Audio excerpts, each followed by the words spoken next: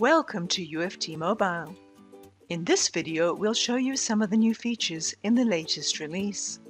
The MicroFocus UFT family of integrated functional testing solutions enables customers to test earlier and faster by combining a breadth of technology support with AI-driven capabilities. UFT Mobile's Shared Spaces feature enables you to create multiple shared spaces, tenants, on a single UFT mobile server.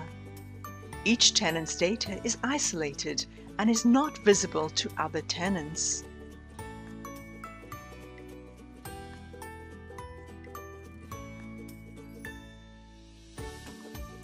Easily connect devices in the UFT Mobile Lab to your IDE for debugging or to control them remotely.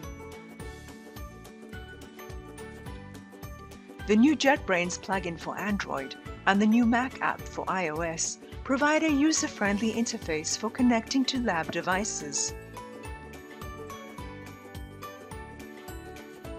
If you have set up the packaging service, you can upload a new provisioning profile from the lab console and the agent apps will be signed automatically. And you can now distribute the agent apps to connectors at the click of a button even when signing manually.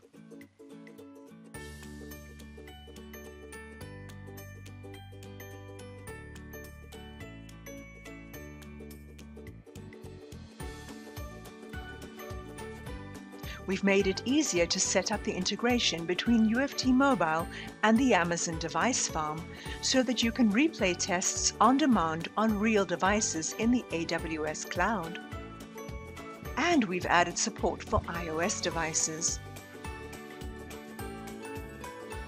We've added additional device metrics such as temperature and Wi-Fi connectivity to help you ensure that a device is healthy and ready for running tests.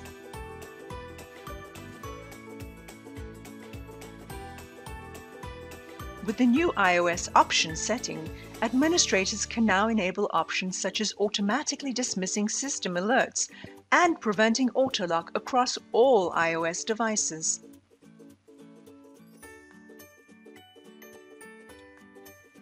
Enhance your UFT developer and Appium mobile scripts with REST API, NFC, and Bluetooth simulation by service virtualization. The SV Lab is deployed as part of the installation of the UFT Mobile Connector. For the complete list of new features, check out the UFT Mobile Help Center. Thanks for watching.